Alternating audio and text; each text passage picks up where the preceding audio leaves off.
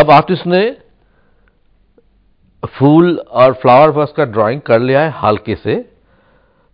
and after that he is using the color first he has chosen to take the green color the stem of the stem and after that he will start with the flower there's a pink you notice the thinness of the color because lot of water has been diluted with the color. One interesting thing you will find in watercolor, even for very thin line,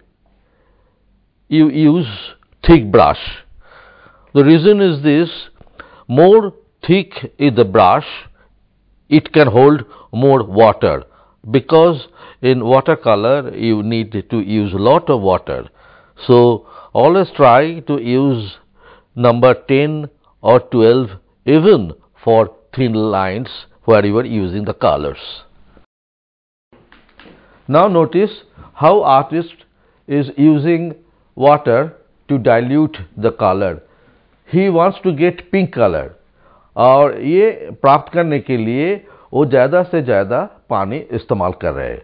on the other hand when you are using tempera और poster colour what you do to get pink you add white with red